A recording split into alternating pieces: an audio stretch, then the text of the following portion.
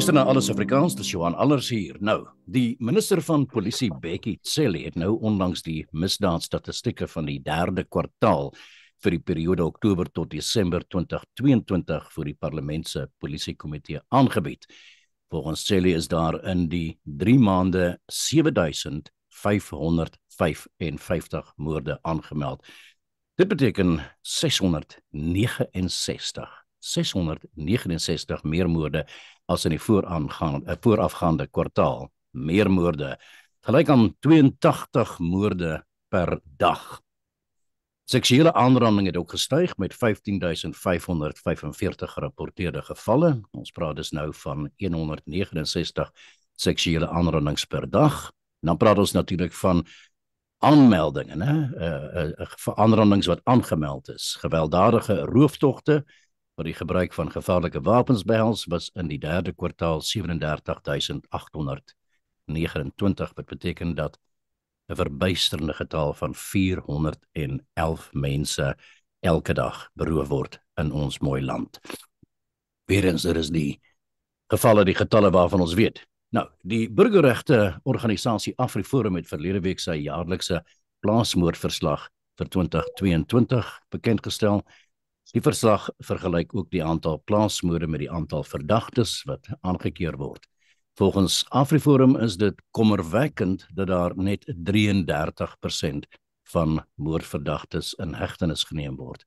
En volgens die verslag het die aantal plaasaanvalle die afgelope jaar afgeneem vanaf 415 aanvalle en 55 moorde in 2021 na 333 aanvalle en 50 moorde in 2022.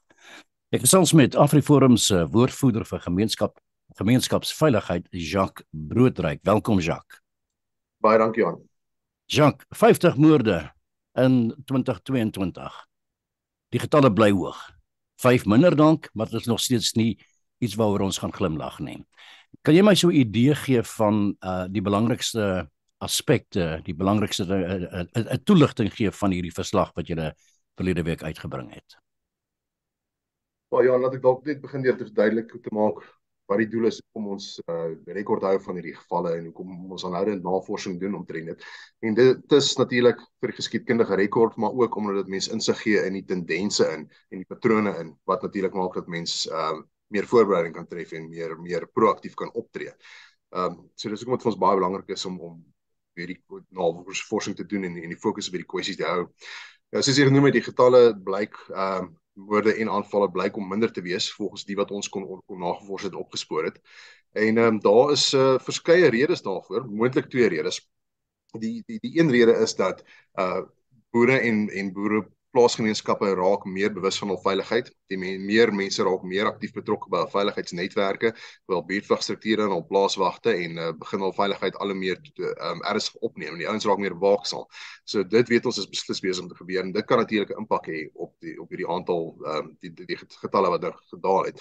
Maar kommerwekkende tendens is natuurlik dat ons weer ons baie voorvalle wat nooit eers aangemeld word nie.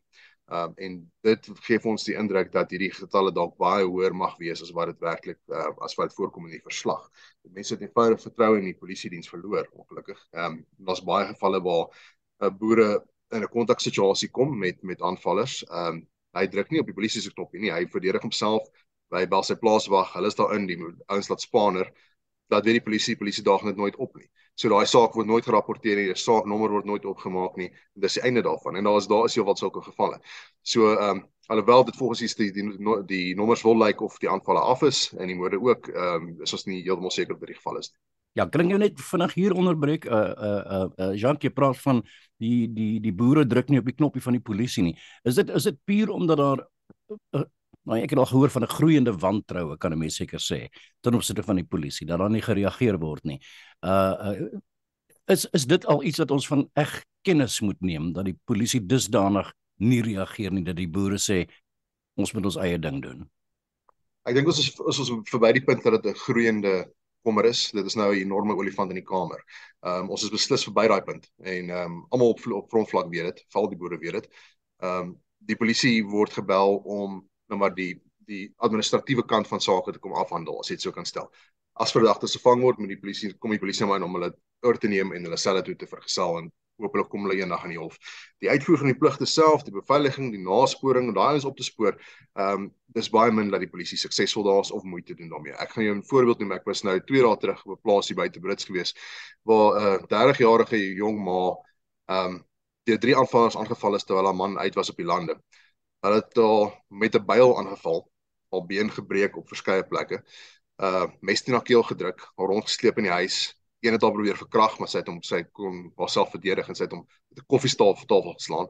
Um, dit alles met hierdie been wat op hoeveel plekke gebreek was. Ja. Dit was 4 maande gelede. Die polisie het nog steeds nie haar verklaring kom neem. Nog nie haar verklaring kom neem nie. 4 maande gelede. Ja. Buitenspore. So dis net een voorstel. Nou een een een een een geval van hierdie, weet. Daar ja. natuurlik vee diefstal is ook 'n enorme kopseer. Ehm um, want daar moet jy as vee gesteel word, moet jy dadelik op die spoor wees en jy moet daai ouens volg want hulle is gewoonlik dan met daai daai vee in die berge, in die veld en soms oor grense en jy moet hulle keer voordat hulle daar kom. Ehm um, jy kan nie dan sit en wag vir die vee diefstal eenheid om 3, 4, 5 dae later op te daag nie. In baie gevalle dan het al dan het al gereën, al die bewysstukke is vernietig, die spore is koud, die beeste is lankal weg, hulle is in Lesotho in en weer by die ander kant van Lesotho terug aan Suid-Afrika aan en al klaar verkoop op 'n mark. So dit is ehm um, weet regtig 'n enorme kopseer wat wat boere nou in die gesig staar. Ehm um, maar dis ongelukkig ook nie net boere nie, dit is dit is landswyd 'n probleem. Ja. Ek wil net weer teruggaan na die vrou waarvan jy gepraat het. Ek meen dit is 'n gewelddadige insident wat plaasgevind het en jy sê 4 maande later is daar nog nie eers 'n verslag van die vrou wat deur hierdie trauma gegaan het afgeneem het. Ek meen dit is 'n mens het nie woorde vir dit nie. Ek het ek het 'n paar vies woorde vir dit, maar ek, ek dit dit is werklik waar nie uh, ons mag dit nie aksepteer nie. Ons mag dit nie aanvaar nie. Waaraan lê dit? 'n Gebrek van belangstelling, 'n gebrek aan kapasiteit, uh, waar waaraan lê dit van die polisie se kant?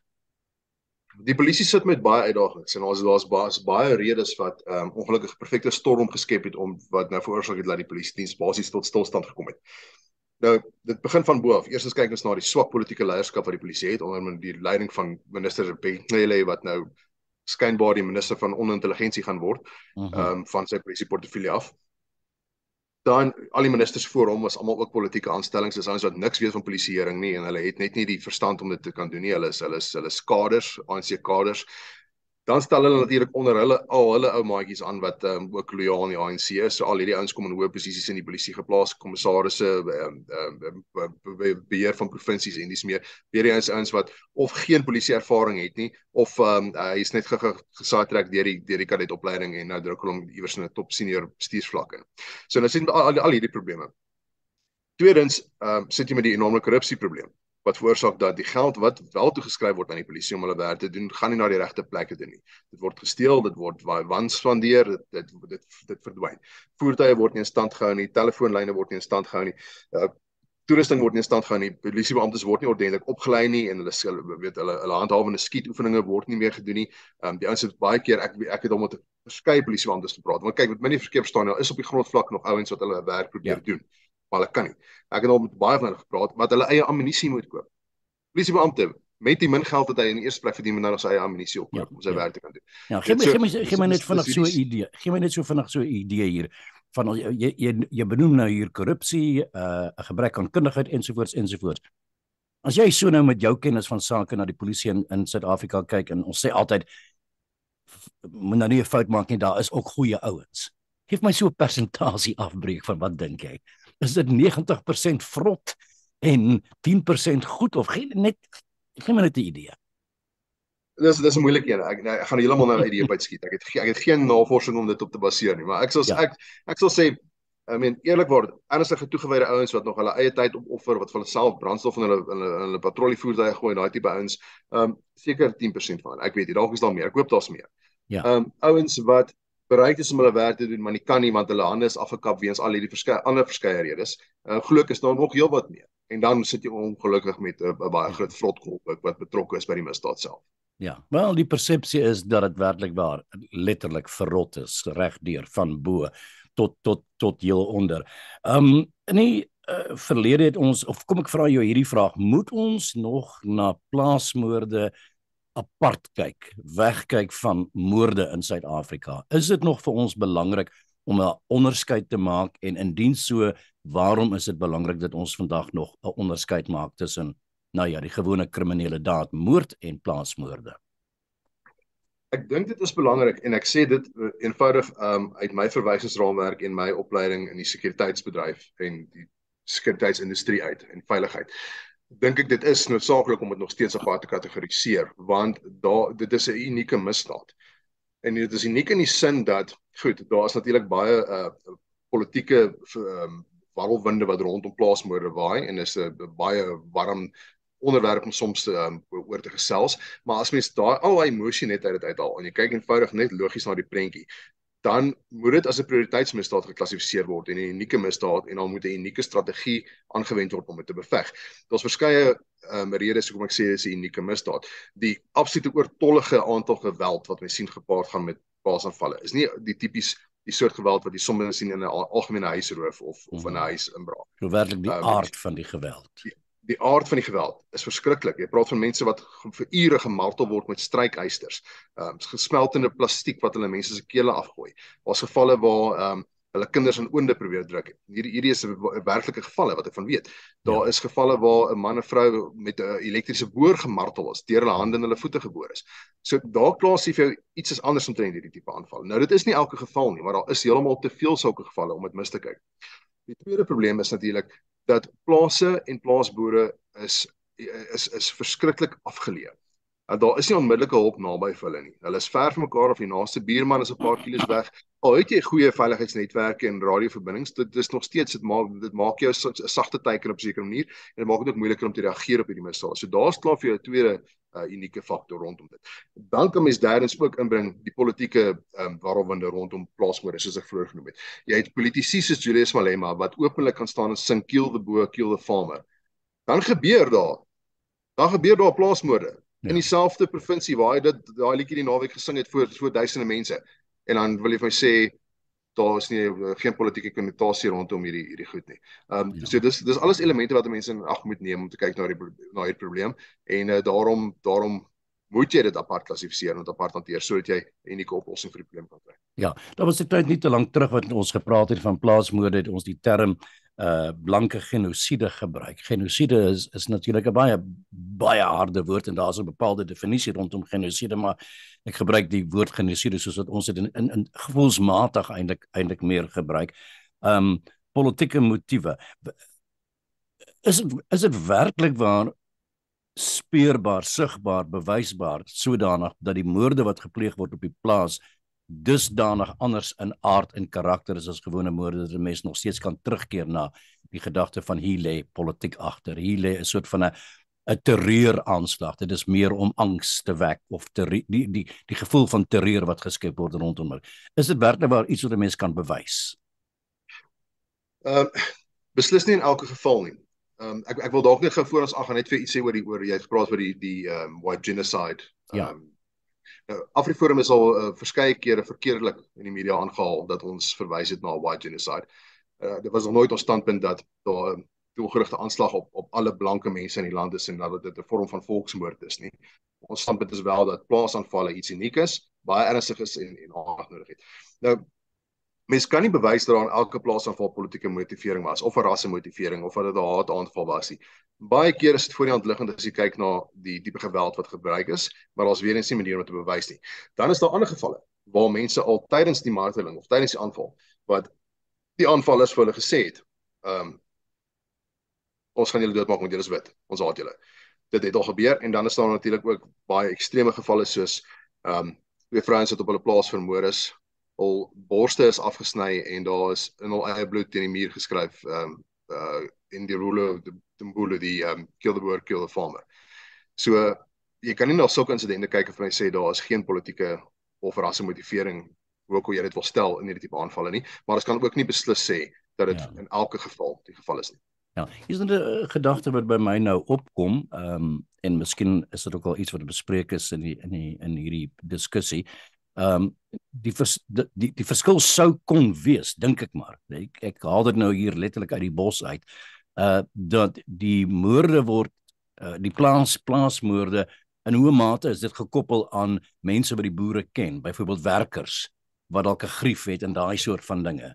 terwyl die ou wat in die stad dit is uh, by 'n woonstel word ingebreek in die stad en en die persoon word vermoor in die proses daar's 'n ander ander karakter 'n ander motief daarin so ek probeer net agter te haal van waarom daar verskille is in opsigte van die plaasmoorde spesifiek sou dit so kan wees dat 'n mens kan sê daar's hoër getalle van hierdie boer is deur sy werkers vermoor waar daar dalk 'n grief was ensovoorts daai navorsing sal gedoen moet word om spesifiek te bepaal. Ehm um, daar was gevalle al waar ons weet ehm um, werkers betrokke was.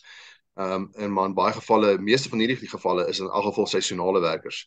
Dis ehm um, nie ouens wat die boer lank geken het of ehm um, weet lank by hom gewerk het nie. So daai idee van van van werkers wat mishandel word en nou is dit braakaanvalle wat wat baie wat jy baie op sosiale media sien is dis ook dis ook bog. Want die ouens wat betrokke is by hierdie aanvalle is seisonale werkers, hulle sal een keer inkom vir 'n maand of twee om te ploeg of te saai of wat ook al ja, nodig is om te ja. word op plaas dan. In daai tyd hou hulle die plaas dop, kyk hoe dinge begin werk. Wanneer hy klaar gewerk is daar en hy en hy verkas, kry hy 'n paar maatjies en hulle beplan 'n aanval. So ja. dis dis die meeste gevalle waar hierdie tipe waar werkers betrokke is. Maar mense mense kan beslis nie sê dis in elke geval nie. Ehm um, daar navorsing sal gedoen moet word. Ja. As ons 'n hoër vervolgingskoers gehad het, dan sou mense natuurlik ook gesê het. Ja. O, okay hier sê is hy is die skuldige. Ja. hy het by jou gewerk en jy sal daai data gehad het, maar omdat so baie van die ouens wegkom hiermee is dit ja, is dit ja. onmoontlik.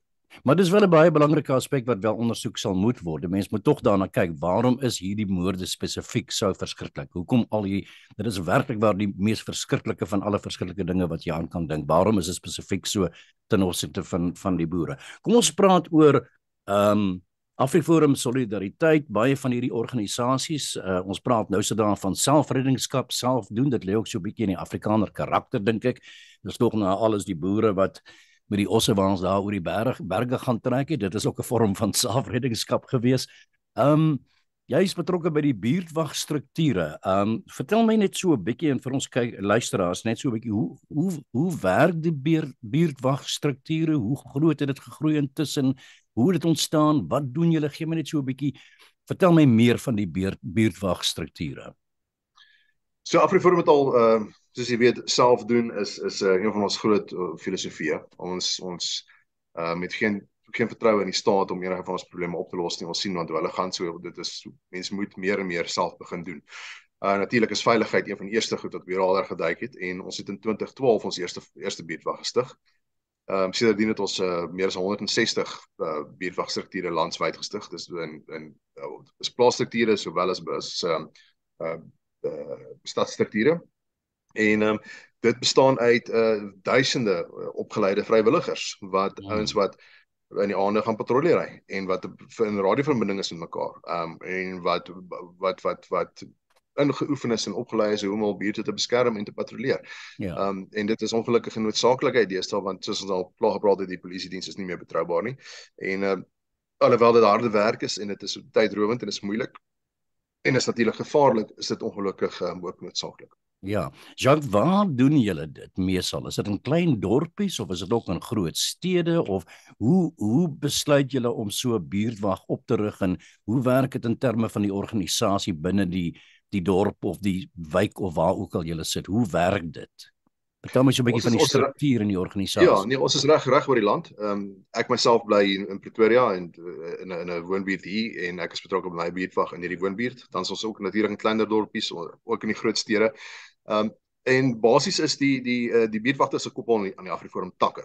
Ehm um, daar is weet en en uit die takke vloei die buurtwag natuurlik. So waar daar gevestigde takke is, daar kan jy 'n buurtwag begin. Die, ja, dit is korrek. So strukture bestaan al reeds.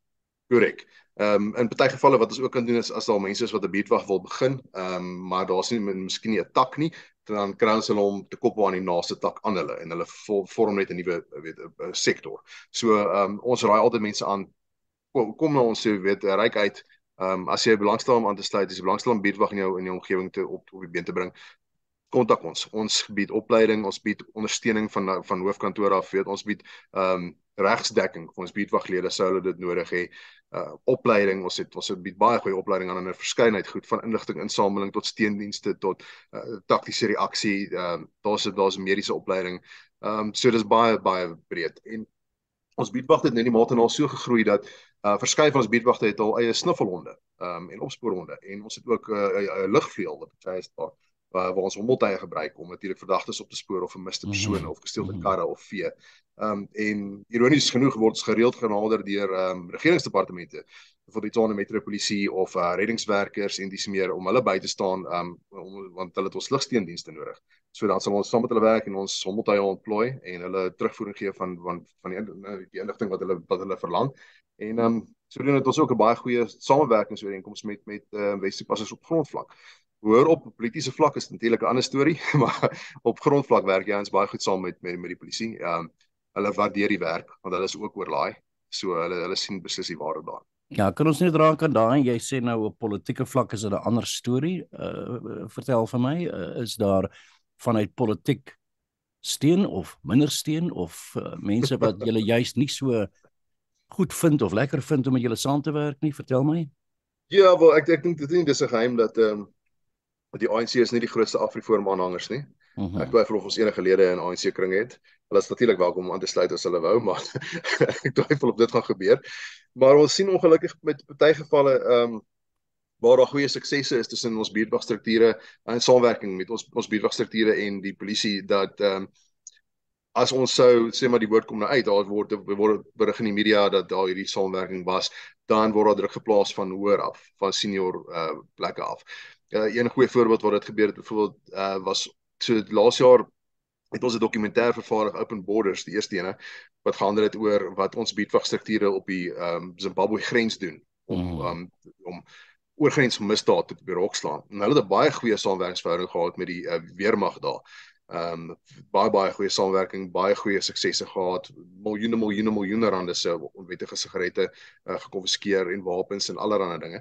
Ehm um, nou toe se dokumentêr maak daaroor en dit word nou daar word baie berig gedoen daaroor is is nou al die media huise toe uh, kom daai vinnig net 'n oproep van hoog af van die weermag en sê julle staan onmiddellik alle samewerking met hierdie beatwag ons. Ehm um, ons wil niks weet van Afriforum nie. Mm. en die ouens op grondvlak sê maar dis belaglik. Ons werk so goed saam as die gemeenskap nodig. Hulle is die ouens wat die inligting kan kry. Hulle weet wat waar aangaan. Ehm um, ons is net die massa. Ons dis dis 'n baie goeie samewerkingsverhouding. Oor op het gesê nip. As julle nou vir julle politieke selfmoord wil pleeg hierso en jou loopbaan wil beëindig dan nou julle nou aan met hierdie samewerking op daardie forum. So dis nou ongelukkig van die uitdagings waarmee ons sit. Op grondvlak gaan dit goed, maar ehm um, die politici sal maar altyd te sê te, uh, iets te sê oor alles. Ja. Julle julle julle julle werk natuurlik binne die Suid-Afrikaanse grondwet eh uh, uh, neem ek aan uh wel, op watter wette maak julle staan binne watter wetlike raamwerke funksioneer julle? Ons is baie gestel daarop om binne die raamwerk van die wet te funksioneer. Ehm um, dis ook deel van die opleiding wat ons gee vir ons lede is is al magte en hoe om binne die reg op te tree. En ons maak staat op op verskeie op verskeie verskillende dele van die wetgewing. Byvoorbeeld die grondwet gee uh uh gee vir mense vryheid van beweging. So dis mag jy gaan patrollie in jou eie buurt sonder dat iemand jou mag keer. Jy mag gaan waar jy ja. wil gaan. Ehm um, niemand kan my keer om rond te ry en te kyk wat aangaan nie. Dan maak ons ook staat op die strafproseswet. Ehm um, wat bijvoorbeeld sê dat enige ehm um, burger van Suid-Afrika oor die ouderdom van ek dink dit is 18 ehm um, mag in sekere gevalle 'n burgerlike arrestasie uitvoer. Ja, ja. Dit is op uh, wat ons noem skedule 1 misdrywe. So dis ja. ernstige misdade wat waarvoor jy tronkstraf kan kry. Dis basies maar die die die die soos hulle in Engels sê rule of thumb. So dit ja. is huisbrake, dis aanranding, dis moord, dis verkrachting, ehm um, ja. saakbeskadiging, diefstal, daai klas van dinge. As jy iemand sien wat homself skuldig maak aan so iets of het 'n baie sterk vermoede um, of bewyse dat hy homself skuldig gemaak het daaraan, mag jy as 'n burger daai persoon arresteer. Ja. Ehm um, jy moet natuurlik sê wie hy is en jou jy arresteer en waarom jy hom ja, arresteer ja, en dan moet jy Ja, dit is internasionaal in elk geval. Ons moet hier staande hou dink ek is die term wat wat hier wat hier uh, gebruik word. En samewerking met uh, plaaslike polisie en en veiligheidsorganisasies ek ek neem aan dit is ook uh, nou ja en dit nie so werk nie sal dit wel tog deel wees van wat jy graag sal wil Ja ja ja, nee beslis. Ons ons het ons het in in, in meeste meeste streke en meeste uh, buurtwagte het ons baie goeie samewerking met ehm um, veral die private sekuriteitsbedryf, uh, maar dan ook met met die polisie en met die polisie. Daar is uitsonderinge waar dit waar daar sekere uh, inmenging is soos ek nou voor vroeër genoem het. Maar in die algemeen het ons baie goeie samewerking um, en dit lei tot goeie suksesse. Ja, het jy 'n idee van getalle? Uh ja, nee, ongelukkig nie. Nee. Dit is uh jy is iets wat ons Daar is al van duisende om, mense wat betrokke is by die terme van van betrokke is by die buurtwagte? Ja. Ja, ek sal sê uh, ek dink die laaste die laaste gistertelling wat wat ek bewus is van was ons omtrent 10000 vrywilligers.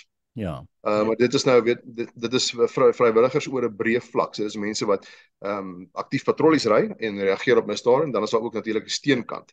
Ehm um, en mense wat inligtings insamel en en en groepe koördineer en kommunikasie en daai klas van dinge. So ehm um, dit is dis dis 10000 vrywilligers oor 'n oor 'n breë ehm um, verskeidenheid dissiplines. Ja, en is dit per definisie so dat jy het 'n buurtwag oral waar jy 'n 'n 'n takkantoor byvoorbeeld het of sou daar byvoorbeeld dit ook sodanig kan wees dat 'n dorp of 'n gedeelte van die land of 'n gedeelte van die stad of 'n wijk of wat ook al waar mense sou belangstel om so 'n buurtwag te begin uh met, saam met AfriForum dat dit moontlik sal wees. Hoe sal hoe sal so 'n proses werk? Is dit moontlik? Mense kan altyd kyk hoe mense plan kan maak. Ehm um, waar mense bereid is om saam te werk, is AfriForum bereid om 'n hand uit te steek. So enigiemand wat belangstel, gaan asseblief na www.afriforumbuurtwag.co.za en maak kontak met ons daar. Ja. Jacques, baie dankie vir hierdie geselsie. Uh lekker om jou te kon ontmoet en baie baie dankie vir uh jou deelname aan vandag se program. Dankie vir jou Johan en uh, lekker dag verder.